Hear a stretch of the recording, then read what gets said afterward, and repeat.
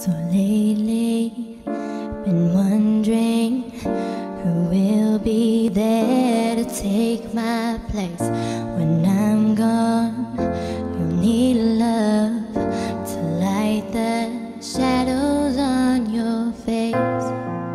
If the gray Some of them may have voted for Messi because they like Messi more than they like you. Then between the sand. Do you think sometimes you're a victim of that? If I could, then I would. I'll go wherever I don't want to cry about that, but uh, sometimes I think yes.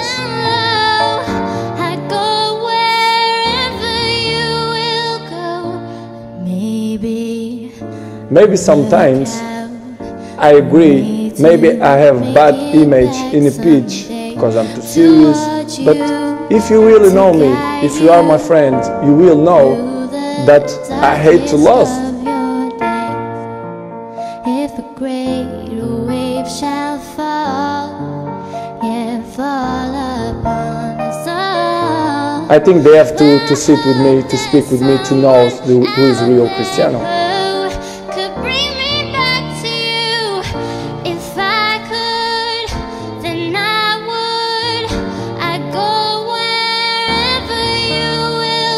So who is the real high, Well, I will describe myself like uh, I'm a friend of who is my friend. I hate to lose.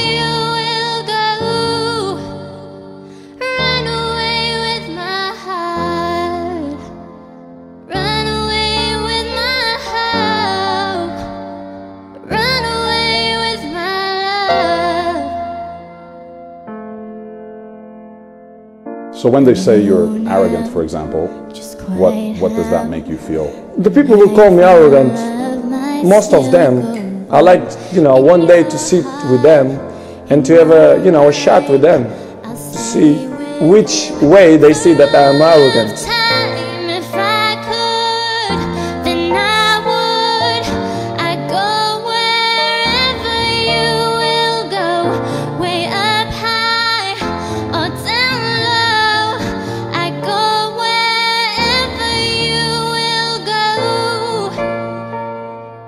I'm honest. I'm the direct person.